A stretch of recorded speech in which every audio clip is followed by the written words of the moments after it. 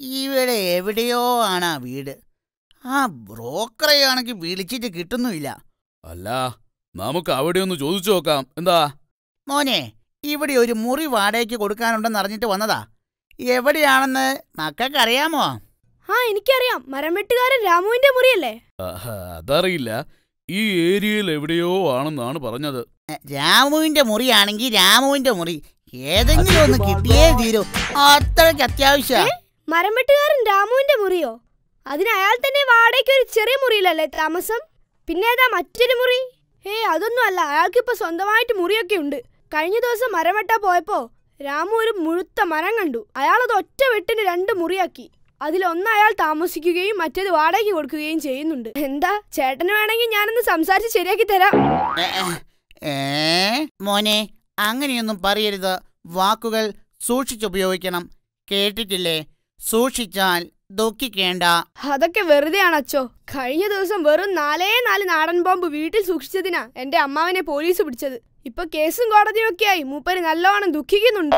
നിന്റെ മൂത്ത അമ്മാവനാണോ വയനാട്ടിൽ എസ്റ്റേറ്റ് ഒക്കെയുള്ള ആ മൂപ്പര് തന്നെ. മൂപ്പരകത്തായ സ്ഥിതിക്ക് ഇനി ആ എസ്റ്റേറ്റ് ഒക്കെ ആരാ നോക്കുക? നീ ആ എസ്റ്റേറ്റ് കണ്ടിട്ടുണ്ടോ?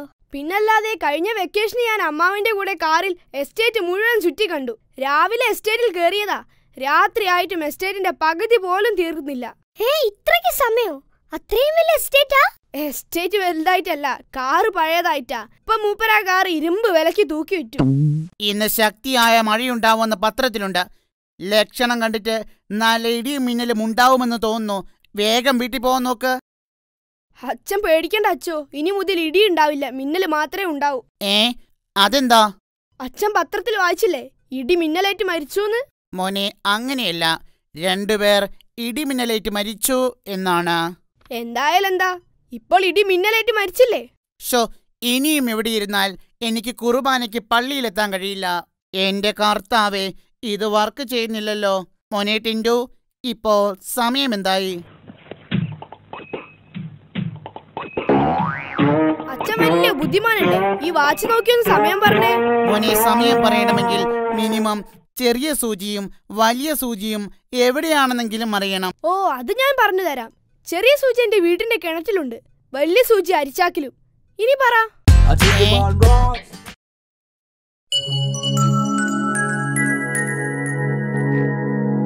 എടാ ജിൻജു നീ ആ തീപ്പെട്ടി എടുത്തേ.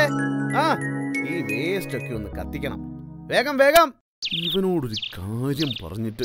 എടാ ടിൻഡു നീ ഇത് എവിടെയാ ഒരു തീപ്പെട്ടി ഇങ്ങ് കൊണ്ടുവാടാ. വരുന്നു. ഒരു തീപ്പെട്ടി ചോദിച്ചിട്ട് നേരെ എത്രയായി? ഈ കണക്കിന് ഒരു തീവണ്ടി ചോദിച്ചിരുന്നേ.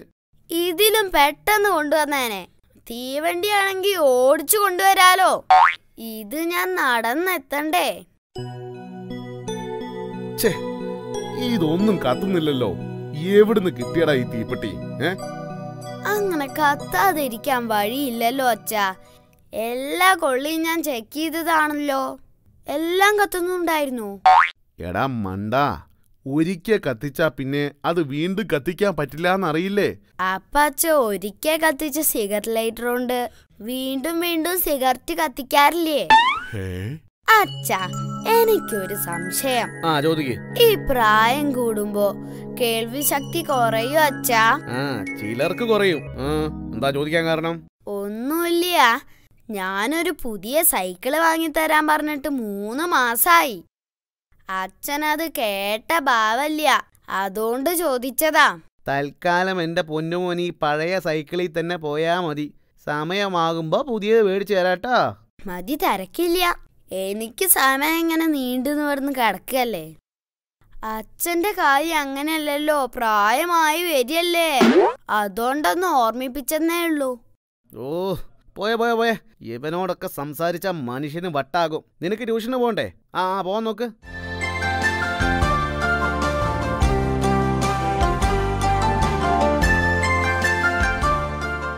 എടാ ടിന്റു അങ്ങനെ നീ ആ ഡുണ്ടുമോളെ വളച്ചു അല്ലേ? ഏ ആര് പറഞ്ഞു? ആ ആ ഒന്നും പറയണ്ട. നീ ഇന്നലെ അവൾക്ക് നിന്റെ മൊബൈൽ നമ്പറൊക്കെ പറഞ്ഞു കൊടുക്കുന്നത് ഞാൻ കണ്ടു. എടാ മണ്ട അത് മൊബൈൽ നമ്പർ പറഞ്ഞു കൊടുത്തതല്ല. ഇക്കഴിഞ്ഞ ഓൾ ഇന്ത്യ ഇംഗ്ലീഷ് ടെസ്റ്റിൽ എനിക്ക് കിട്ടിയ റാങ്ക് പറഞ്ഞതാ. മൊബൈലിന്റെ കാര്യം പറഞ്ഞപ്പോളാ ഓർത്തത്. ഞാൻ എന്റെ ഫോണൊന്ന് റീചാർജ് ചെയ്തിട്ട് വരാം. ചേട്ടാ ഫോണൊന്ന് റീചാർജ് ചെയ്യണം. എത്ര രൂപയ്ക്കാ? പത്ത് രൂപയ്ക്ക് ചാർജ് ചെയ്താ എത്ര രൂപ കിട്ടും? പത്ത് രൂപയ്ക്ക് ചാർജ് ചെയ്താ ഏഴ് രൂപ കിട്ടും. ദാ പത്ത് രൂപ. ബാക്കി മൂന്ന് രൂപയ്ക്ക് മിഠായി എടുത്തോ. പാലാ തൊടുപുഴ ഈരാച്ചുപേട്ട മൂവാറ്റുപുഴ വഴി എങ്ങോട്ടോ പോകുന്ന സൂപ്പർ ഫാസ്റ്റ് സ്റ്റാൻഡിന്റെ പടിഞ്ഞാറ് ഭാഗത്തുള്ള കട്ടത്തടിയിലിരിക്കുന്നു.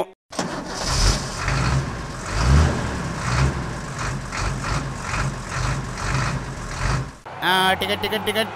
ആ മോനെ ഇത് വികലാംഗ റെസീറ്റാ അപ്പുറത്തേക്ക് ഇരുന്നോ ഞാനും ഒരു വികലാംഗനാ ചേട്ടാ. കണ്ടില്ലേ? എന്റെ ഒരു പല്ല് പോയിട്ടുണ്ട്. ചേട്ടാ കൊയിലാണ്ടി എത്തിയാൽ ഒന്ന് പറയണേ. ഓ പറയാം. അല്ല മോന്റെ വീട് കൊയിലാണ്ടിയിലാണോ? ഏയ് അല്ലല്ല. ഞാൻ എന്റെ അമ്മാവിന്റെ വീട്ടിൽ പോവുകയാ. മോൻ ഏത് ക്ലാസ്സിലാ പഠിക്കുന്നത്? അഞ്ചിലാ. മോന്റെ അച്ഛൻ എന്ത് ചെയ്യുന്നു? അച്ഛൻ ദുബായിലാ. അതെയോ? അവിടെ എന്താ ജോലി? അച്ഛൻ അവിടെ വലിയ നിലയിലാ. വെറുതെ അങ്ങോട്ടും ഇങ്ങോട്ടും നടന്നാലേ അച്ഛന് മാസം മുപ്പതിനായിരം രൂപ കിട്ടും. വെറുതെ അങ്ങോട്ടും ഇങ്ങോട്ടും നടന്നാൽ മുപ്പതിനായിരം രൂപയോ? അതെന്ത് പണിയാ? വെറുതെ എന്ന് പറഞ്ഞാ അങ്ങോട്ട് നടക്കുമ്പോൾ തലയിൽ ഹോളോ ബ്രിക്സ് ഉണ്ടാകും. ഇങ്ങോട്ട് വരുമ്പോൾ തലയിൽ സിമന്റ് ചാക്കും. അപ്പൊ കൽപ്പണിക്കാരനാണല്ലേ? ചേട്ടാ കൊയിലാണ്ടി എത്തുമ്പോ പറയണേ. ആ പറയാം പറയാം പറയാം.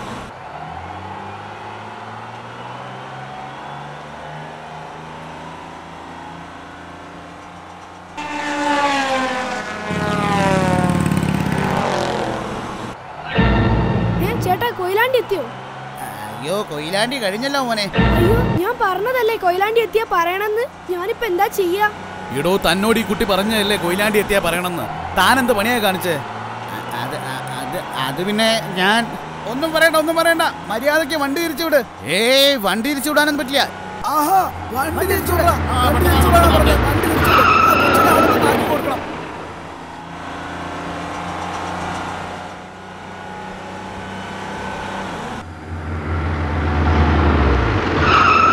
ആ, കൊയിലാണ്ടി എത്തി കൊയിലാണ്ടി എത്തി കൊയിലാണ്ടി എത്തി ഇറങ്ങിക്കോ ഇറങ്ങിക്കോ. ഇറങ്ങിയോ ഹലോ? ആ അമ്മേ ഞാനിപ്പോ കൊയിലാണ്ടി എത്തി ഓക്കെ ഓക്കെ. ആ ശരി. അമ്മ പറഞ്ഞിട്ടുണ്ട് കൊയിലാണ്ടി എത്തിയാ വിളിക്കണമെന്ന്. ആ.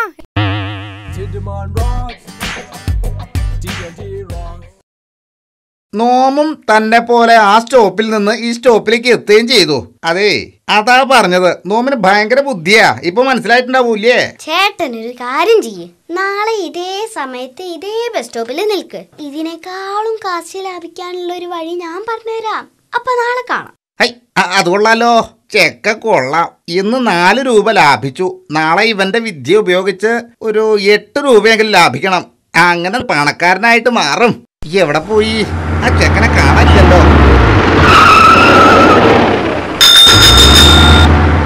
ഈ ബസ്സിന്റെ പിറകെ ഓടണോ? അല്ലേ വേണ്ട. ഇതിനേക്കാളും കാശ് ലാഭിക്കാനുള്ള വിദ്യയുമായി അവൻ വരുമല്ലോ. എന്നിട്ട് തീരുമാനിക്കാം. ചേട്ടാ! ഐ എത്ര നേരായി നോം നിന്നെ കാത്തിരിക്കണമെന്നറിയോ ആ കാശ് ലാഭിക്കാനുള്ള വിദ്യ എളുപ്പം ഇങ്ങോട്ട് പറഞ്ഞേ. നോമിനെ കേൾക്കാൻ ധൃതിയായേ. ഈ ഇരിക്കുന്ന ബാബു ചേട്ടന്റെ അതാണ് ഈ ടാക്സി. ബാബു ചേട്ടൻ ദിവസം രാവിലെ ഈ സമയത്താ വീട്ടിൽ നിന്ന് ഇതിലെ ടാക്സി സ്റ്റാൻഡിലേക്ക് പോവാ. ഓക്കെ? ബാബു ചേട്ടന്റെ ടാക്സി ഇവിടെ എത്തുമ്പോ നമ്പൂരി ചേട്ടൻ ഈ ടാക്സിയുടെ പിന്നാലെ അടുത്ത സ്റ്റോപ്പ് വരെ ഓടണം. ഓ ആയിക്കോട്ടെ. ബസിന്റെ പിന്നാലെ ഓടിയാൽ നാല് രൂപയല്ലേ ലാഭിക്കാനാവൂ? ടാക്സിയുടെ പിന്നാലെ ഓടിയാലേ മിനിമം നൂറ് രൂപയെങ്കിലും ലാഭിക്കാം.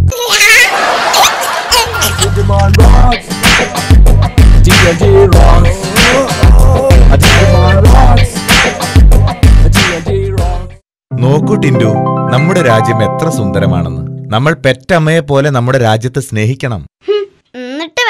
ഈ രാജ്യത്തെ പിടിച്ച് വല്ല വൃദ്ധസദനത്തിലും കൊണ്ടുപോയിടാൻ. ഒന്ന് ചുമ്മായിരി.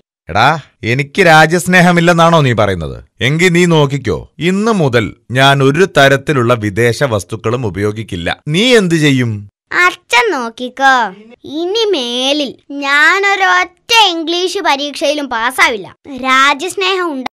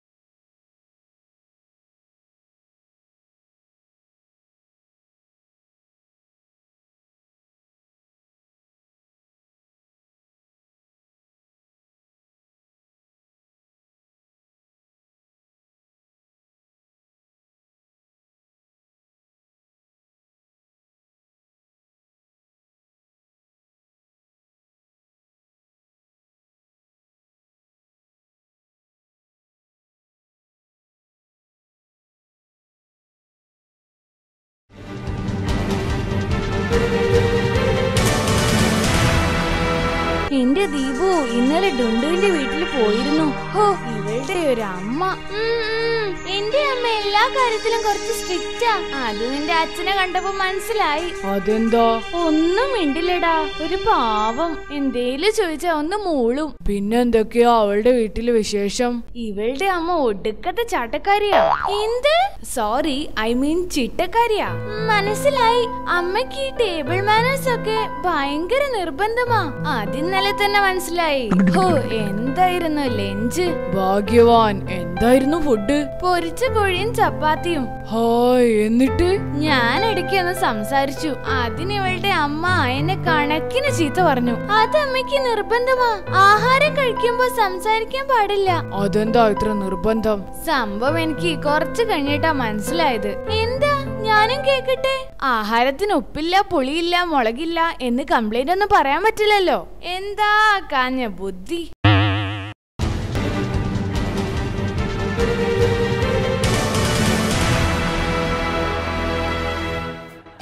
എടി ഞാൻ വല്ലാതെ വയസ്സായി പോയല്ലേ? ഇപ്പോഴാണോ മനസ്സിലായത്? ഡൈ ആവാനായി. എന്ത് വർത്താന നിങ്ങൾ ഈ പറയുന്നത്? എന്നെ ഓർത്തോ? പറക്കമുറ്റാത്ത ടിൻഡുവിനെ നിങ്ങൾ ഓർത്തോ? നിനക്കെന്താടി വട്ടായോ? അത് ശരി. വേണ്ടാതീന ഞാനാണോ പറഞ്ഞത്? ഡൈയുടെ കാര്യമാ ഞാൻ പറഞ്ഞത്. Hair dye. ഓ ആ ഡൈ. എന്നാ കുറച്ച് എനിക്ക് മാറ്റി വെച്ചേക്കണേ. അയ്യേ അമ്മ ശശിയായി. ഏ എന്റെ പേരാടാ ശശി. ഇവൾ രമ. ന്യൂ ജനറേഷനിൽ ആൾ മണ്ടനായി എന്നതിന് ശശിയായി എന്നാ പറയാറ്? ഇപ്പൊ ശശി എന്ന് വെച്ച? മണ്ടൻ. കഷ്ടം. നല്ലൊരു പേരായിരുന്നു. ഇനി ഇതിപ്പോ മാറ്റാനും പറ്റില്ലല്ലോ. അത് സാരമില്ല. അച്ഛൻ അത് കറക്റ്റ് മാച്ചാ ആ. അതവിടെ നിക്കട്ടെ. നീ പോയി ഡൈ വാങ്ങി വാ. പോവാം. പക്ഷേ ഒരു കണ്ടീഷൻ ഉണ്ട്. എനിക്കറിയാം. കണ്ടീഷൻ എന്ന് വെച്ചാ കമ്മീഷൻ അല്ലേ? ബാക്കി പൈസ കൊണ്ട് നിനക്ക് മുട്ടായി വാങ്ങണം. കമ്മീഷനും മിഠായി ഒന്നും അല്ല കടയിലേക്ക് പോയി വരാൻ അച്ഛന് ബൈക്ക് ഒന്ന് വേണം. അയ്യടാ എടാ ദൈവം നിനക്ക് എന്തിനാ രണ്ട് കാട് തന്നത്? ഒന്ന് ഗിയർ മാറ്റാനും മറ്റേത് ബ്രേക്ക് ചവിട്ടാനും. എന്തേ?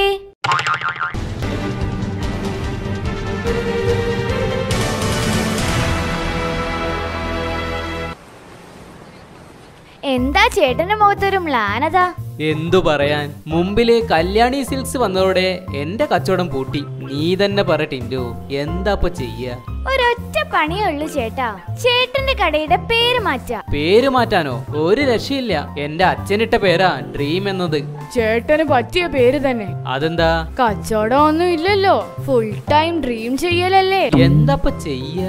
ചേട്ടൻ എന്തായാലും കടയുടെ പേരൊന്ന് മാറ്റേണ്ടി വരും. എന്നാ പ്രശ്നമൊക്കെ തീരുവോ? അത് ഗ്യാരണ്ടിയാ കല്യാണി സിൽക്സിന്റെ കസ്റ്റമേഴ്സ് മുഴുവൻ ഇവിടെ ഉണ്ടാവും. ഷെടാ അതെങ്ങനെ?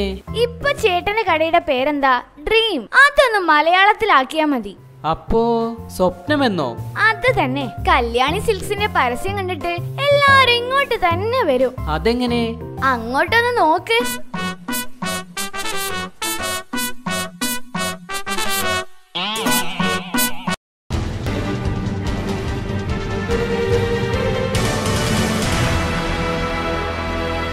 ദേ നോക്കിയേ നിങ്ങളുടെ അനിയത്തിയുടെ കല്യാണം ഉടനെ നടത്തണം. അതെന്തേ പെട്ടെന്ന് അങ്ങനെ തോന്നാൻ? അവക്ക് പ്രായം എത്രയായെന്നാ? നീ ഇങ്ങനെ ധൃതി കൂട്ടിയാലോ? യോജിച്ചൊരു ചെക്കനെ കിട്ടണ്ടേ? യോജിച്ച ചെറുക്കൻ. എന്നിട്ട് ഞാൻ അവളുടെ അത്രയായിരുന്നപ്പോ എന്റെ അച്ഛനും അമ്മയൊക്കെ എനിക്ക് യോജിച്ചൊരു ചെക്കന് വേണ്ടി കാത്തിരുന്നില്ലല്ലോ? അത് ശരി. അതിനർത്ഥം ഞാനൊരു കിഴങ്ങനാണെന്നല്ലേ? അതിൽ എനിക്ക് സംശയമൊന്നുമില്ല. എനിക്കൊരു കാര്യത്തിലേ സങ്കടമുള്ളൂ. ഏത് നശിച്ച നേരത്താ നിന്നെ ഞാൻ പെണ്ണ് കാണാൻ വന്നത്? എന്റെ കഷ്ടകാലത്തിന്. അതേടി എന്റെ ജീവിതത്തിൽ എനിക്കൊരു തെറ്റേ പറ്റിയിട്ടുള്ളൂ. അതേത് തെറ്റാ? അതാണ് എന്റെ മുമ്പിൽ ഈ മഞ്ഞസാരി ഉടുത്തിരിക്കുന്ന സ്ത്രീ നിന്റെ അമ്മ. ഏതായാലും ഒരു കാര്യം ഞാൻ ഉറപ്പിച്ചു. അതെന്താടാ? ഭാവിയിൽ എന്തായാലും അച്ഛൻ എനിക്ക് പെണ്ണ് അന്വേഷിക്കണ്ട. അയ്യോ അതെന്താ മോനെ? സ്വന്തം കാര്യത്തിൽ തെറ്റുപറ്റിയ അച്ഛന് എന്റെ കാര്യത്തിലും തെറ്റു വരാതിരിക്കോ? ഹാവു പ്രാർത്ഥിക്കാൻ പറ്റിയൊരു സ്ഥലം അന്വേഷിച്ച് നടന്ന് മടുത്തു. ഇവിടെ കൊള്ളാമെന്ന് തോന്നുന്നു. മനസ്സിന് സമാധാനം കിട്ടണമെങ്കിൽ പ്രാർത്ഥന തന്നെ വേണം. ടി വി കാണാൻ പറ്റുന്നില്ല പത്രം വായിക്കാൻ പറ്റുന്നില്ല എന്തോരം പ്രശ്നങ്ങളാ നാട്ടിൽ. ദൈവമേ കുട്ടികളുടെ വളർച്ചയ്ക്ക് ആവശ്യമായ വിറ്റാമിനുകൾ മീനെണ്ണയിൽ നിന്നും ചീരയിൽ നിന്നും മാറ്റി. ഐസ്ക്രീമിലും ചോക്ലേറ്റിലും ചേർത്ത് തരണേ. വർഷത്തിൽ രണ്ടു മാസം അവധിയും പത്ത് മാസം പഠിത്തു എന്നത് പത്ത് മാസം അവധിയും വെറും രണ്ടു മാസം പഠിത്തു എന്നാക്കി തരണേ. ദൈവമേ ആഴ്ചയിൽ രണ്ട് തവണ ശനിയും ഞായറും ഉണ്ടാക്കണേ.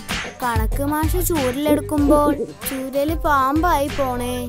അപ്പ സാറ് ചൂരിൽ നിലത്തിട്ടോടും. നമുക്കല്ലേ അറിയൂ അത് നമ്മൾ തമ്മിലുള്ള ഇടപാടാണെന്ന്. ദൈവമേ നിലത്ത് വീണ ഉടനെ ചൂരിലാക്കാൻ മറക്കല്ലേ? ഞാൻ ഈ പ്രാർത്ഥിച്ചതെല്ലാം നാളെ മുതൽ നടക്കണേ ദൈവമേ. അയ്യോ അയ്യോ. ഏ അതാരാ? ഇത്രയും കാര്യങ്ങൾ പെട്ടെന്ന് തീർക്കാൻ പറ്റാത്തതുകൊണ്ട് ദൈവം കരഞ്ഞതാണല്ലേ? സാരമില്ല. ഓരോ ദിവസം ഓരോന്ന് വീതം നടപ്പാക്കി തന്നാ മതി. അയ്യോ എന്നെ രക്ഷിക്കണേ. ദൈവത്തിന്റെ ശബ്ദം ഇങ്ങനെയാവാൻ വഴിയില്ലല്ലോ. ഇതൊരു മാതിരി കാട്ടുപൂച്ചയുടെ ശബ്ദം. ആരാ? എവിടുന്നാ നിലവിളിക്കുന്നേ? അയ്യോ ഇത് ഞാനാണേ. ഈ പൊട്ടക്കിണറ്റിന്നാണേ രക്ഷിക്കണേ. ഒരാഴ്ചയായി ഇതിനകത്ത് വീണിട്ട്. അയ്യോ എന്നെ രക്ഷിക്കണേ. ഈ പൊട്ടക്കിണറ്റിന്നാണേ രക്ഷിക്കണേ. അയ്യോ എന്നെ രക്ഷിക്കണേ. ഹലോ? ഏയ്. ഹലോ. ഏയ്. അയ്യോടാ എക്കോ. കിണറ്റീന്ന് എക്കോ. എക്കോ അല്ല ചാക്കോ. കിണറ്റീന്ന് ചാക്കോ. അത് ശരി കിണറ്റീന്ന് ചാക്കായിരുന്നോ. ഞാൻ കരുതി മനുഷ്യന്മാരും എല്ലാവരും ആയിരിക്കുമെന്ന്. നീ എന്തിനാ ചാക്കയെ കിണറ്റി ചാടിയത്? ചാക്കോ താഴത്ത് വീട്ടിലെ ചാക്കോ. ചാക്ക് താഴത്ത് വീണെന്നോ? എപ്പോഴാ താഴത്ത് വീണേ? എടാ ദ്രോഹി നിന്ന് സൊല്ലാതെ എന്നെ രക്ഷപ്പെടുത്താൻ എന്തെങ്കിലും മാർഗം അന്വേഷിക്കടാ. അമ്പോ താഴത്തെ വീട്ടിൽ ചാക്കോ ചേട്ടനായിരുന്നോ? നിങ്ങക്ക് ഈ പൊട്ടക്കിണറ്റിൽ എന്താ കാര്യം? എന്തിനാ ഇവിടെ ഒളിച്ചിരിക്കുന്നത്? ചേച്ചി വീണ്ടും ചിരവയെടുത്ത് തല്ലിയോ? എടാ ദ്രോഹി നിന്ന് സൊല്ലാതെ എന്നെ രക്ഷപ്പെടുത്താൻ എന്തെങ്കിലും മാർഗം അന്വേഷിക്കടാ. അതിന്റെ ആവശ്യമുണ്ടോ ചേട്ടാ? ഇല്ലാതെ പിന്നെ എടാ ഒന്ന് രക്ഷപ്പെടുത്തടാ. എനിക്ക് ഇനിയും ജീവിക്കാൻ ആശയുണ്ടടാ ഡിൻഡു അല്ല ഒരു കാര്യം ചോദിക്കട്ടെ? ചേട്ടൻ എന്തിനാ അവിടേക്ക് പോയത്? മുത്തും പവിഴവും വെറുക്കാം. എടാ മരമാക്രി ഞാൻ വീണതാ. ഭാഗ്യത്തിനൊന്നും പറ്റിയില്ല. നാട്ടുകാരുടെ നിർഭാഗ്യം. അവിടുത്തെ ജീവിതം എങ്ങനെ ഉണ്ട് ചേട്ടാ? പാമ്പും ചേരയും ഒക്കെ ധാരാളം ഉണ്ടാവുമല്ലോ. ഓ ഒരു മനുഷ്യജീവി വരാൻ പ്രാർത്ഥിച്ചിട്ട് ഇങ്ങനെ ഒരു സാധനത്തിനെയാണല്ലോ എന്റെ മുന്നിൽ കൊണ്ടിട്ടത് എന്റെ ദൈവമേ. അത് ശരി. അപ്പൊ ചേട്ടനും എന്നെ പോലെ പ്രാർത്ഥിക്കാൻ വന്നതാണല്ലേ? പൊട്ടക്കഞ്ചിന്ന് പ്രാർത്ഥിച്ച എളുപ്പം ഫലം കിട്ടുവോ? എടാ എന്റെ പൊന്നു മോനല്ലേ. ഒന്ന് വേഗം എന്നെ രക്ഷപ്പെടുത്തടാ. അത് തന്നെ ചേട്ടാ. ഞാൻ ആദ്യം ചോദിച്ചത് അതിന്റെ ആവശ്യമുണ്ടോ? ചേട്ടനൊരു കാര്യം ചെയ്യ്. ഒരു കാ മണിക്കൂർ വെയിറ്റ് ചെയ്യ്. എന്നിട്ട് പറ. ഞാൻ ഇപ്പൊ വരാവേ.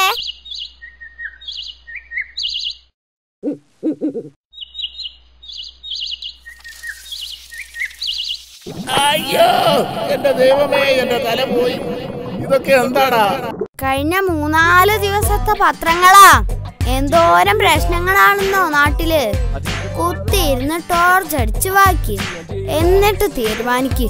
പുറം ലോകത്തോട്ട് വരണോ? അതോ അവിടെ തന്നെ കഴിഞ്ഞാ മതിയോ എന്ന്? അല്ല പിന്നെ ടിൻഡു ഇങ്ങനെ ചുമ്മാ കിടന്നാ നിനക്ക് ബോറടിക്കത്തില്ലേ? ബോറടിച്ചാ ഞാൻ തിരിച്ചടിക്കും. ചിണ്ടി വരാ മോൻ? പിന്നെ അടിച്ചാ? കേറി കിടന്ന് ഉറങ്ങിക്കളയും. അപ്പൊ ഒന്നും അറിയില്ലല്ലോ. പിന്നെ അച്ഛാ ഞാൻ ഇന്നലെ മെസ്സിയെ സ്വപ്നം കണ്ടു. ആ മെസ്സിയുടെ കാര്യം പറഞ്ഞപ്പോഴാ ഓർത്തെ. ആ തെക്കേടത്തെ ലിസിയുടെ പശുവിനെ നീ കണ്ടിട്ടുണ്ടോ? അതുപോലൊന്ന് നമുക്കും മേടിക്കണം. കവറ് പാൽ കുടിച്ച് മടുത്തടാ. നാളെ മുതൽ കവറുപാൽ ഔട്ട് കറവുപാൽ പാലിൻ ആ നീ ആ കാലിച്ചന്തയിലോട്ട് പോയി. ലക്ഷണമൊത്തൊരു നല്ല പശുവിനെ മേടിച്ചോണ്ട് വാ. അവിടെയുള്ളൊരു മൈക്കിളിനെ ഞാൻ ഏൽപ്പിച്ചിട്ടുണ്ട്. പോത്തു മൈക്കിൾ എന്ന് ചോദിച്ചാ ആരും പറഞ്ഞു തരും. നല്ല പശു എന്ന് എങ്ങനെ മനസ്സിലാക്കും? ആ ലക്ഷണങ്ങൾ ഞാനിപ്പോ പറഞ്ഞു തരാം. കറുത്ത നിറം നല്ല തടി നല്ല ഉയരം നല്ല ഘടാഘടിയൻ വാൽ നിലത്തു തൊടണം. നിറഞ്ഞ അകിടായിരിക്കണം. ഇതെല്ലാം ഒത്തൊരു പശുവിനെ കിട്ടു അച്ഛാ. ആ ഇതിൽ ഒന്നോ രണ്ടോ കുറഞ്ഞാലൊന്നും പ്രശ്നമില്ല. എല്ലാം ഒത്തുകിട്ടാനും പാടാ. ഇത് പശുവോ? അതോ പോത്തോ? സംശയം എന്താ ഇത് പശുവാ. അതല്ല ഞാൻ ചേട്ടന്റെ കാര്യമാ ചോദിച്ചത്. അല്ല ചേട്ടാ ചേട്ടനാണോ ഈ തോക്ക് കൈമൾ? തോക്ക് കൈമളല്ല പോത്തു മൈക്കിൾ ആ ആ അതന്നെ. അത് ചേട്ടനാണോ? ആ തോമസിന്റെ മോനല്ലേ? പശുവിനെ വേണമല്ലേ? ആ ശരി നോക്കിക്കോ. ഹാ ഇത് കൊള്ളാമല്ലോ. ചേട്ടാ ഇത് പെയിന്റ് അടിച്ചതൊന്നല്ലോ ഏ ഇത് നല്ല ഒന്നാം തരം ജേഴ്സിയാ. ഹാ ജേഴ്സി ഇട്ടതാണല്ലേ? ഞാൻ കരുതി ഒറിജിനൽ കളറാണെന്ന്. കറുത്ത നിറം നല്ല പൊക്കം തടി. ഉം, അതും അത് ഓക്കെ. ഏ? അത് പിന്നെ സാരല്ല ചേട്ടാ ഇത് മതി. മോനെ കയറ്. ഏ പശുവിന്റെ പുറത്തൊന്നും ഞാൻ കയറില്ല. അതല്ലടാ. കയറ് കയറ്. ദാ കയറ്.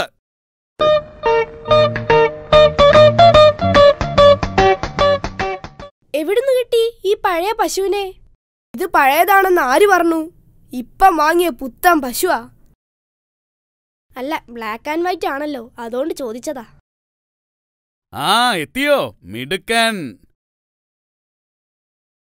കൊള്ളാമല്ലോടാ. കറുത്ത പുള്ളി നല്ല ഉയരം തടി വാലാണെങ്കിൽ നിലത്തു മുട്ടുന്നു ഏ? അയ്യോ ചതിച്ചോ കർത്താവേ. എടാ ഈ സാധനത്തിന് അകിടില്ല. ബാക്കിയെല്ലാം ലക്ഷണം ഉണ്ടല്ലോ. പിന്നെ എല്ലാം ഒത്തു കിട്ടാൻ പാടാ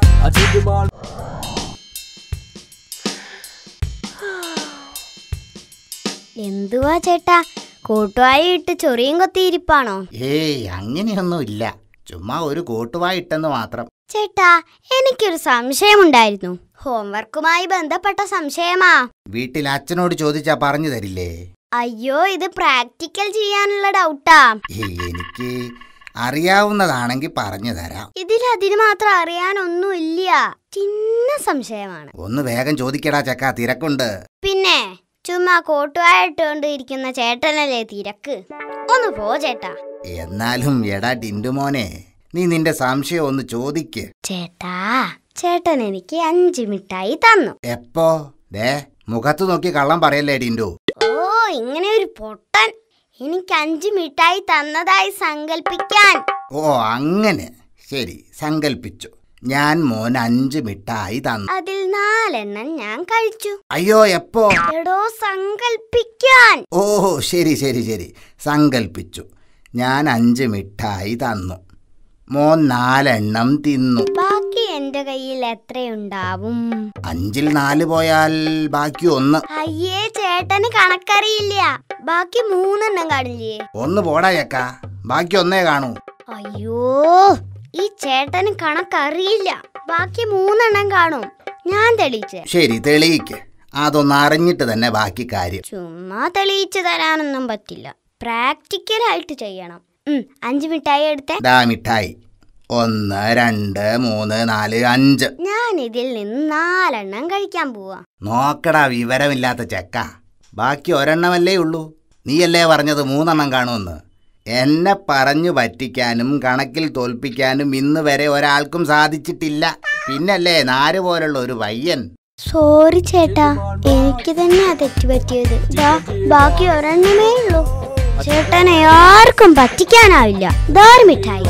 ഞാൻ തോറ്റു. പോട്ടെ. അങ്ങനെ വഴിക്കുവാ ഏ?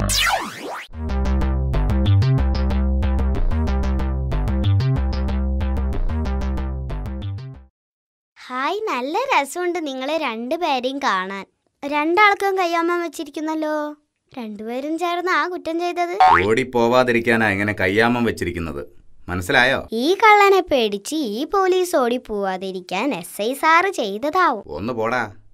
ഇവൻ ആരാണെന്ന് അറിയാമോ ഉടുമ്പ് വാസു. ഒരു പഴുത് കിട്ടിയാൽ മതി. ഊർന്നു പോയി കളയും. അങ്ങനെ പോവാതിരിക്കാനാ എന്റെ കൈയും ചേർത്ത് ഇങ്ങനെ കയ്യാമം വെച്ചിരിക്കുന്നത്. സാറിങ്ങനെ ബുദ്ധിമുട്ടുന്നത് കാണുമ്പോ എനിക്കൊരു വിഷമം.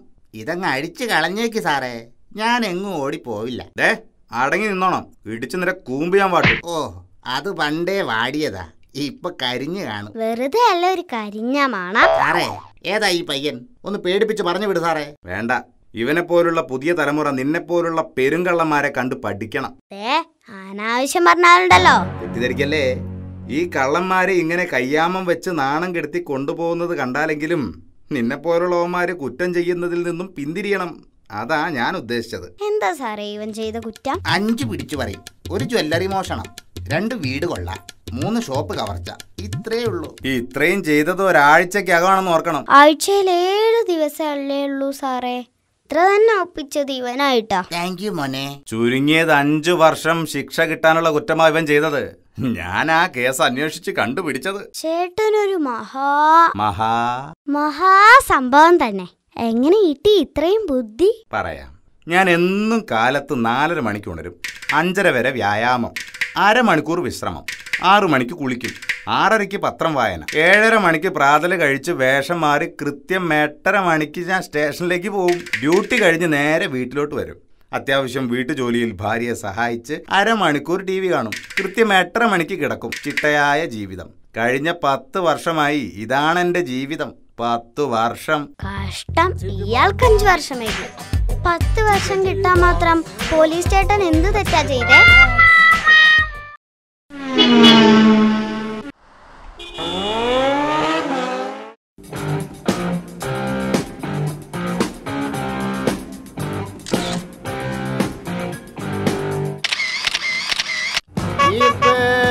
നല്ല ഒന്നാം തരം ചീർപ്പ് ചീർപ്പുകൾ വേണോ? ചീർപ്പ്.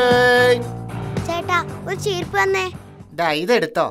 ഒരുപാട് ഗുണങ്ങളുള്ള ചീർപ്പാ ഇത്. ഇത് വളയ്ക്കാം ഒടിക്കാം മടക്കാം കല്ലുകൊണ്ടടിക്കാം ചുറ്റി കൊണ്ടിടിക്കാം നിലത്തിട്ട് ഉരയ്ക്കാം ഹുഹു, ഒന്നും പറ്റില്ല. സോറി മുടി ചെയ്യുന്ന ചീർപ്പാണെന്നാ ഞാൻ കരുതിയത്. എനിക്ക് വേണ്ട. ഇതുകൊണ്ട് മുടിയും ചെയ്യാം എന്നിട്ട് വേണം എന്റെ മുടി മുഴുവൻ പിഴുതു പോവാൻ ഒന്ന് പോയേ. ഷേ അത്രയും നന്നാക്കി പറയണ്ടായിരുന്നു. ഛേ ബസ് വരാൻ ഇനിയും സമയമുണ്ടല്ലോ. എക്സ്ക്യൂസ് മീ സമയം എത്രയായി? ഹലോ മോനെ സമയം എത്രയായി? ഇവൻ എന്താ ചെവി കേട്ടൂടെ? ഹലോ മോനെ സമയം ടൈം ടൈം എത്രയായി? ഞാൻ പറയില്ല. ഓ അത് ശരി. വലിയ ഗമയിൽ വാച്ചും കെട്ടി ഇറങ്ങിയതാണല്ലേ? സമയം നോക്കി പറയാൻ അറിയില്ലായിരിക്കും. നാശം. മൊബൈലാണെങ്കിൽ ഓഫായിപ്പോയി.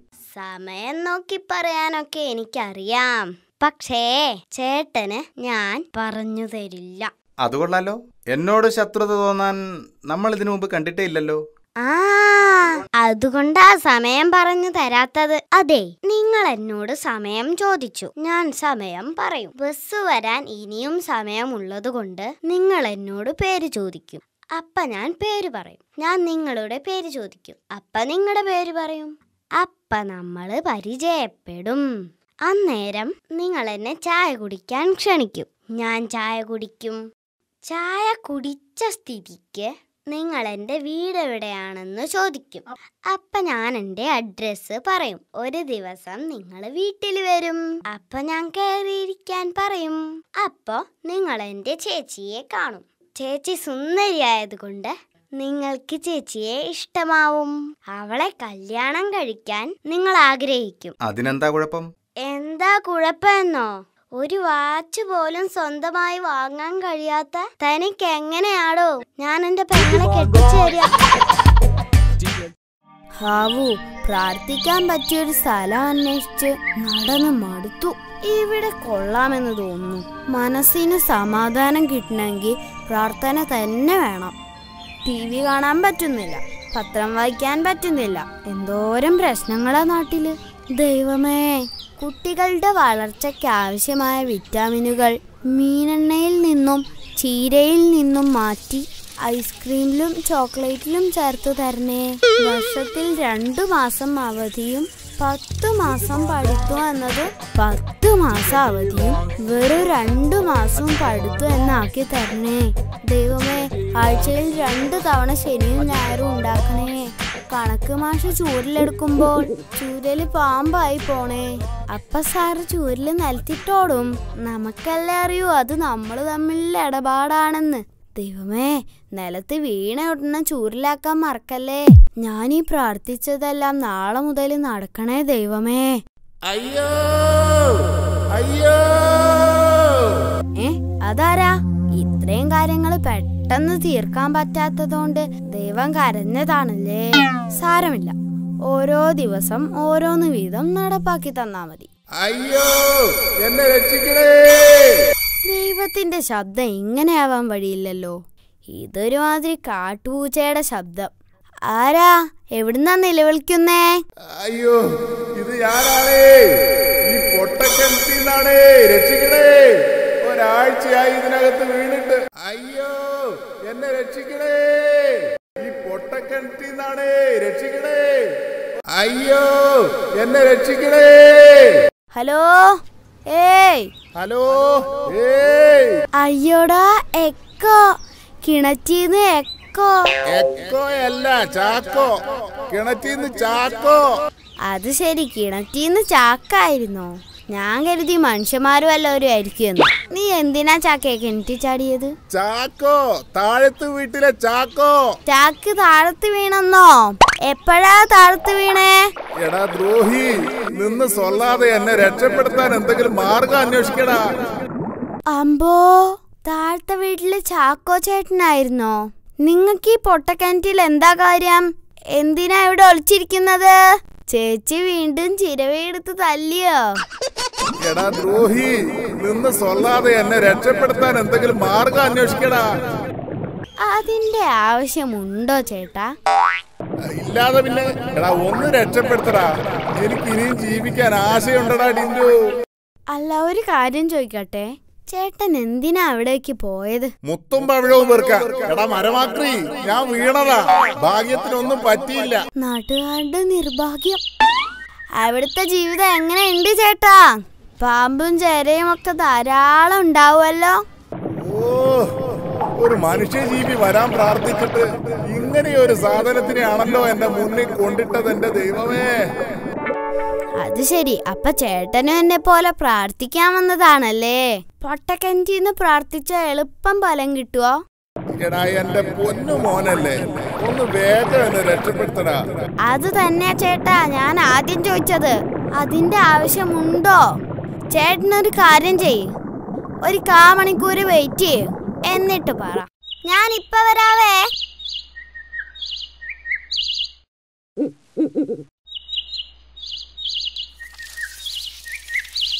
അയ്യോ എന്റെ ദൈവമേ എന്റെ തല പോയി.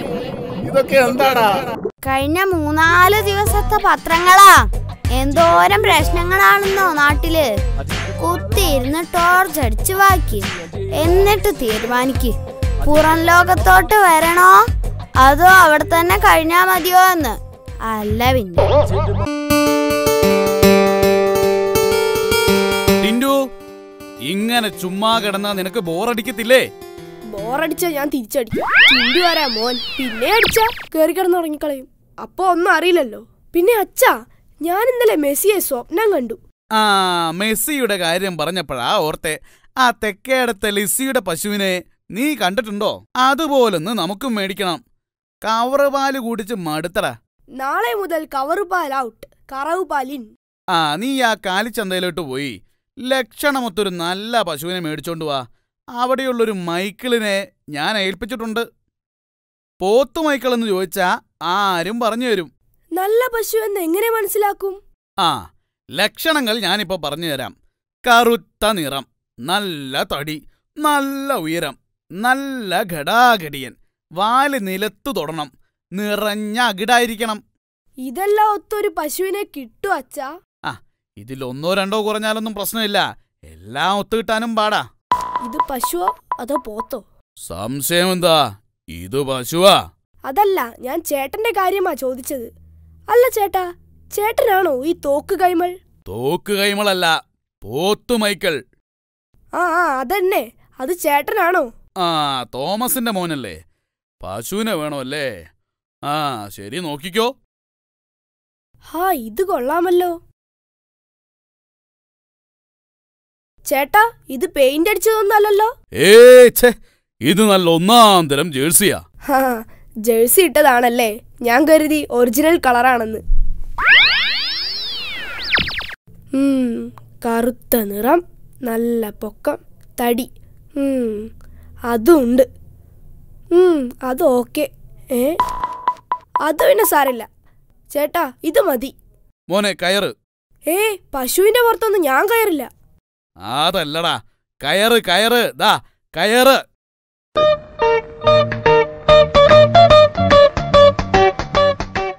എവിടുന്ന് കിട്ടി ഈ പഴയ പശുവിനെ? ഇത് പഴയതാണെന്ന് ആര് പറഞ്ഞു?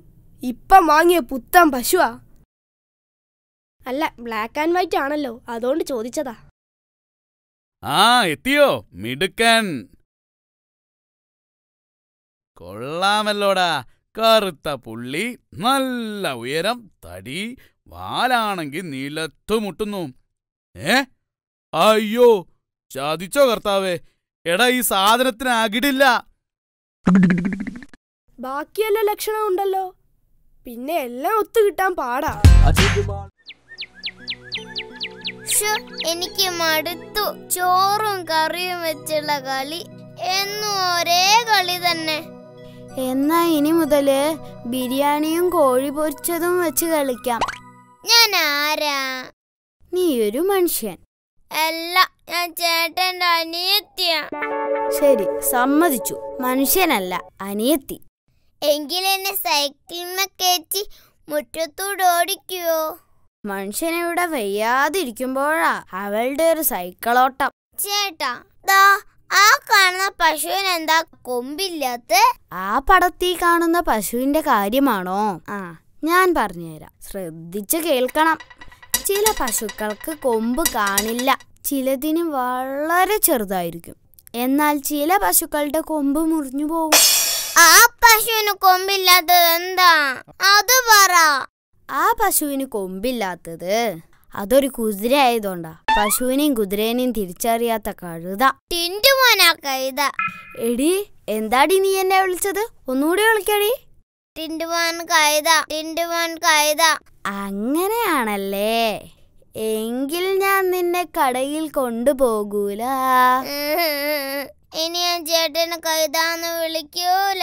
പ്ലീസ് നല്ല ടിന്റുമോനല്ലേ എന്നെ കൂടെ കടയിൽ കൊണ്ടുപോണേ വേണമെങ്കിൽ എന്നെ കൈതാന്ന് വിളിച്ചു അറിയാം. അമ്മയോട് ചീത്ത കേക്കും. ഏയ് അതല്ല. അച്ഛനോട് തല്ല് കിട്ടും. പിന്നെ തല്ലാനിങ് വരട്ടെ. അതൊന്നും അല്ലടി പെണ്ണെ പ്രശ്നം. പിന്നെ എന്താ എന്നെ കഴുതാന്ന് വിളിച്ച പ്രശ്നം? നിന്നെ കഴുത എന്ന് വിളിച്ചാലേ കഴുതകൾ മാനനഷ്ടത്തിന് കേസ് കൊടുക്കും. അതുകൊണ്ടാ. അമ്മ ഈ ചേട്ടൻ എന്നെ കാണിയാക്കുന്നു. ഷോ ഇവളിന്ന് എനിക്ക് തല്ല് വാങ്ങിത്തരും. ചിഞ്ചുമോളെ ചേട്ടൻ വെറുതെ പറഞ്ഞതാ. എടി പൂച്ചയ്ക്കും പട്ടിക്കും മാത്രമേ സംഘടനയുള്ളൂ. കഴുതകൾക്കില്ല. എന്നെ വിശ്വസിക്കൂ. ദേ ഞാൻ നിന്നെ കടയെ കൊണ്ടുപോകാം. ഞാൻ കരഞ്ഞത് എന്തിനാന്നറിയാമോ? എന്തിനാ? കഴുതകൾ കേസ് കൊടുത്ത ചേട്ടൻ ജയിലിൽ പോന്നത് ഓർത്തിട്ടാ. അധികം പതപ്പിക്കല്ലേ എന്റെ കുഞ്ഞു പെങ്ങളെ? ചിഞ്ചു നിനക്ക് ഐസ് വാട്ടർ വേണോ? സർവത്ത് വേണോ? എനിക്ക് ഐസ് വാട്ടർ മതി. ചേട്ടാ ഒരു ഐസ് വാട്ടർ ഒരു സർവത്ത്.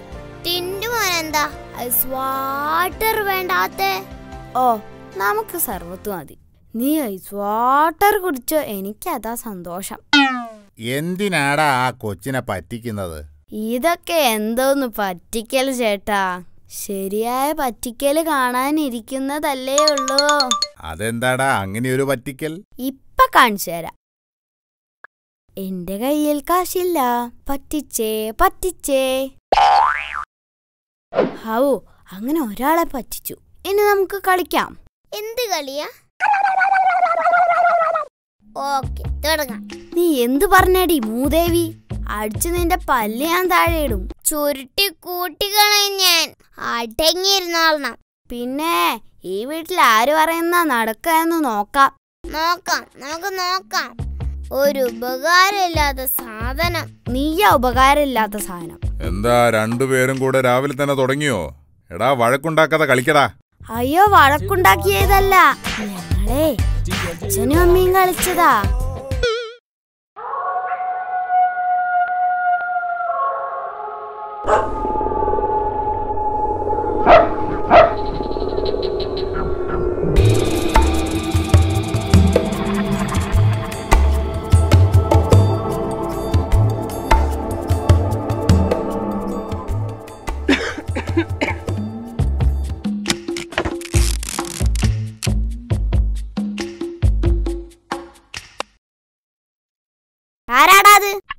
മിണ്ടിപ്പോരുത് ഞാനാണ് ഇടിവെട്ട് പരമു. ഏതവനായാലും വേണ്ടില്ല. ലേറ്റ് ഓഫ് ഈ മനുഷ്യന് കിടന്നുറങ്ങണം. ഇവൻ ആൾ കൊള്ളാമല്ലോ ഒരു കള്ളനെ കിടപ്പ് മുറിയിൽ നേരിട്ട് കണ്ടിട്ടും ഒരു കൂസലുമില്ലല്ലോ. ആ അങ്ങനെ വിട്ടാ പറ്റില്ല. ഏയ് ഹലോ എഴുന്നേൽക്കടാ ചക്ക. ഇതുപോലെ ഇത് വലിയ ശല്യമായല്ലോ. എന്താടോ തനിക്ക് വേണ്ടത്? ഞാൻ ഇവിടെ മോഷ്ടിക്കാൻ വന്നതാണ്. എന്നെയാണോ ഇയാൾ മോഷ്ടിക്കാൻ വന്നത് നിന്നെയല്ല. പണം. പണമാണ് എനിക്ക് വേണ്ടത്. വേഗം പറഞ്ഞോ. എവിടെയാ പണം വെച്ചിരിക്കുന്നത്? എന്റെ പൊന്നു ചേട്ടാ ഇത് തന്നെ ഒരാഴ്ചയായിട്ട് ഞാനും അന്വേഷിക്കുന്നത്. കിട്ടിയിരുന്നെങ്കിൽ വയറ് നിറയെ ഐസ്ക്രീം കഴിക്കായിരുന്നു. ആ ഏതായാലും ഉറക്കം പോയി. കള്ളനിരിക്കൂ ഇരിക്കാനൊന്നും നേരമില്ല. എനിക്ക് എന്റെ ജോലി നോക്കണം. പിന്നെ വലിയ കളക്ടറല്ലേ കളക്ടർ? ഹ ഈരി ചേട്ടാ. അതെ ആദ്യമായിട്ട് ഒരു കള്ളനെ ഞാൻ നേരിട്ട് കാണുന്നത്. അപ്പ പിന്നെ പരിചയപ്പെടാതെ പോകുന്നത് ശരിയല്ലല്ലോ.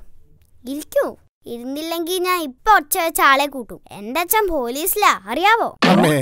അയ്യേ പോലീസുകാരെ ഇത്രയും പേടിയാണെങ്കിൽ എന്തിനാ ചേട്ടാ ഈ പണിക്ക് ഇറങ്ങിയത്? പേടി കൊണ്ടല്ലടാ. പോലീസ് എന്ന് കേട്ട അപ്പോ ഇരുന്ന് കളയണം. എങ്കിലേ രക്ഷപ്പെടൂ. അതാണ് ഞങ്ങളുടെ ഒരു വിശ്വാസം. അന്ധവിശ്വാസം. അല്ലാതെന്ത്? ചേട്ടൻ ജനിച്ചപ്പോഴേ കള്ളനായിരുന്നു. എത്ര വർഷമായി ഈ ജോലി തുടങ്ങിയിട്ട്? താൻ എന്നെ ഇന്റർവ്യൂ ചെയ്യാണോ? അയ്യോടാ ഇന്റർവ്യൂ ചെയ്യാ ഇയാളാരാ സിനിമാ നടനോ? ദേ മര്യാദയ്ക്ക് പറഞ്ഞില്ലെങ്കിൽ ഞാൻ ഇപ്പൊ അച്ഛനെ വിളിക്കും. ചേടാ ഇത് വലിയ ശല്യമായല്ലോ. എടാ ഇരുപത് വർഷമായി ഞാൻ ഈ പണി തുടങ്ങിയിട്ട്. ശരി ഞാൻ പോട്ടെ. എവിടെ പോവാൻ? അവിടെ ഇരിക്കേ. ഇരുപത് വർഷം കൊണ്ട് കൊറേ സമ്പാദിച്ചു കാണുമല്ലോ അല്ലേ? ആ ഒരു സമ്പാദ്യം ഇല്ല. അങ്ങനെ ജീവിച്ചു പോന്നു മാത്രം. ഇതിലും നല്ലത് തനിക്ക് പോലീസിൽ ചേരുന്നതായിരുന്നു. പോലീസ് പിടിക്കുമെന്ന് പേടിയില്ലാതെ കാശുണ്ടാക്കി കൂടായിരുന്നോ?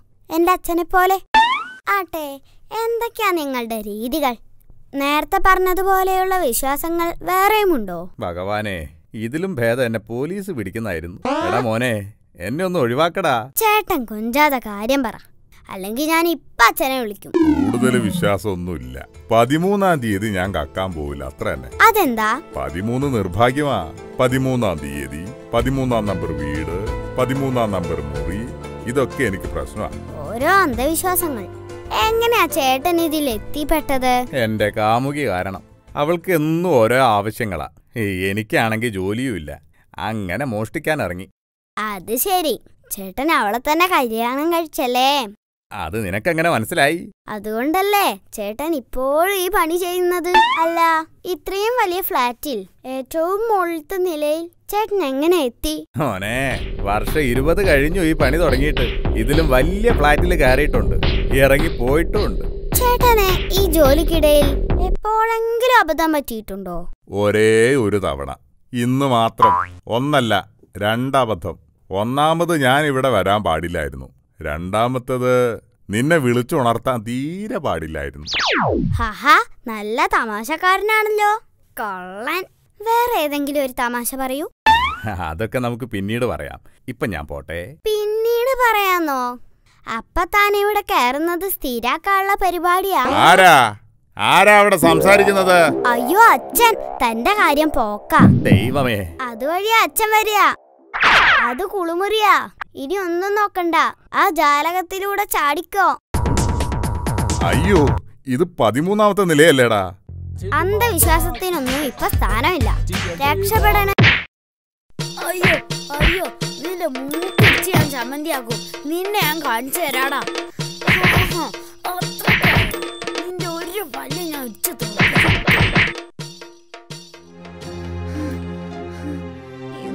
നിന്നെ പറ്റി ഞാൻ ടീച്ചറോട് പറഞ്ഞു കൊടുക്കും.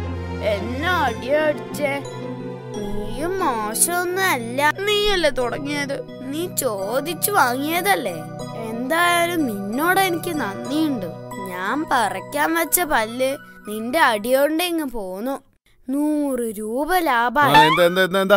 എന്താ അവിടെ ബഹളം? അല്ല ബഹളം. സാറേ ഈ ടിൻഡു എന്നെ ചെരുപ്പോണ്ട് തല്ലി. ഏ അത്രക്കായോ കളിച്ച് കളിച്ച് ഇവിടം വരെ എത്തിയോ? ടിൻഡു ഇവിടെ ഇവിടെ വന്നേ? ആ ടിൻഡു നീ ഇവനെ ചെരുപ്പ് കൊണ്ട് തല്ലിയോ തല്ലി സാർ അതവൻ പറഞ്ഞിട്ടാ. ഏ? അവൻ പറഞ്ഞിട്ടോ? അതെ സാർ ചെളി ചവിട്ടിയ ചെരുപ്പുമായി ക്ലാസ് കയറരുതെന്ന് അവൻ പറഞ്ഞു. ആ എന്നിട്ട്? അപ്പൊ ഞാൻ പറഞ്ഞു ചെരുപ്പിനടിയിൽ ചെളി ഇല്ലെന്ന്. അപ്പൊ അവൻ പറയുവാ എന്നാ ചെരുപ്പിനടി ഒന്ന് കാണട്ടെ എന്ന് അപ്പൊ ഞാൻ എന്റെ ചെരുപ്പ് ഒരു ഒരു അടി കൊടുത്തു. ആ ശരി ശരി. ഇന്നലെ പഠിപ്പിച്ച എല്ലാം ഓർമ്മയുണ്ടല്ലോ. എന്താ ടിൻഡു എല്ലാം തെറുവാക്കിയോ? അങ്ങനെ മാത്രം പറയരുത് സാർ. ടിൻഡു കുരുത്തക്കേട് കാണിക്കും.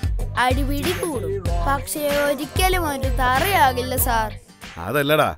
ഇന്നലെ ക്ലാസ്സിൽ ക്ലാസ്സിലെടുത്ത എഡീഷനും സബ്ട്രാക്ഷനും ഒക്കെ മനഃപ്പാടമാക്കിയോ എന്നാണ് ചോദിച്ചത്. അവരൊക്കെ ആരാ? പുതിയ അഡ്മിഷനാണോ? എന്തായാലും എനിക്കറിയില്ല. ഓ എഡീഷൻ എന്ന് പറഞ്ഞാൽ കൂട്ടൽ. സബ്ട്രാക്ഷൻ എന്ന് പറഞ്ഞാൽ കിഴിക്കൽ. അതിനാണോ ഈ വായിക്കൊള്ളാത്ത പേരൊക്കെ പറയണേ? ടിൻഡു നിനക്ക് കൂട്ടാൻ അറിയുമോ? എനിക്കിഷ്ടം മീൻ കൂട്ടാനാ അതല്ലടാ രണ്ട് സംഖ്യകൾ തമ്മിൽ കൂട്ടാൻ അറിയോന്ന്. കുറച്ചൊക്കെ അറിയും ആ എന്നാ ഞാനൊരു കണക്ക് തരാം. ഈശ്വര പെട്ടു. മൂന്നിൽ നിന്നും മൂന്ന് കൂട്ടിയാൽ എത്ര? മൂന്നിൽ നിന്നും മൂന്ന് കൂട്ടിയാൽ ഏഴ്. എടാ മണ്ടാ തെറ്റിയല്ലോ. ഒന്നൂറ് കൂട്ട്. ശരി. എട്ട്. ഷോ എടാ അതും തെറ്റി. നീ ഒന്നുകൂടെ കൂട്ട്. ശരി. എന്നാൽ ഒമ്പത്. ഇതെന്താടാ കൂടിക്കൂടി വരുന്നത്? ഓരോ പ്രാവശ്യം ഉത്തരം പറയുമ്പോ സാറല്ലേ പറഞ്ഞേ? ഒന്നുകൂടെ കൂട്ട് ഒന്നുകൂടെ കൂട്ട്.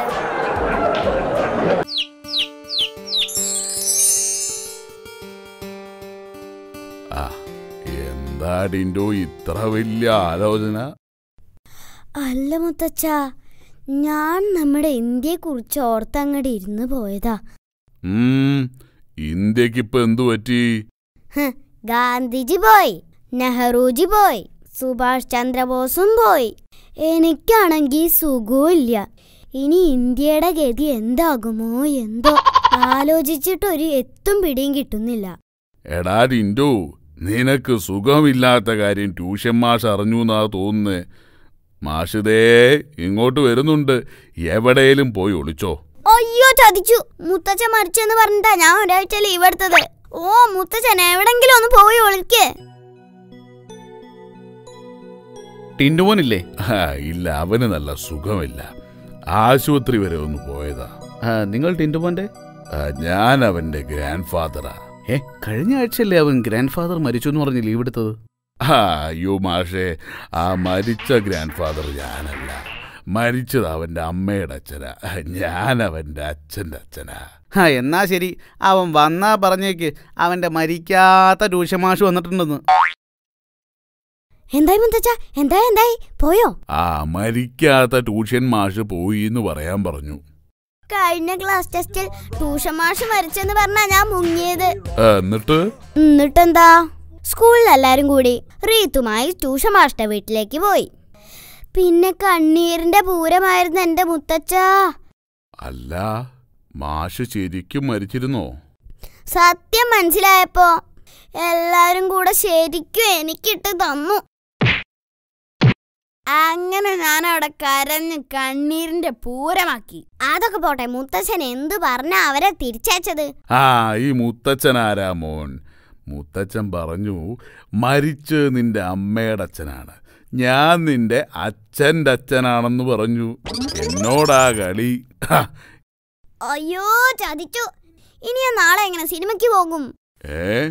സിനിമയോ? ഞാൻ അച്ഛന്റെ അച്ഛൻ മരിച്ചെന്ന് പറഞ്ഞു. നാളെ സിനിമയ്ക്ക് പോകാനാ വിചാരിച്ചത്. എല്ലാം കളഞ്ഞില്ലേ?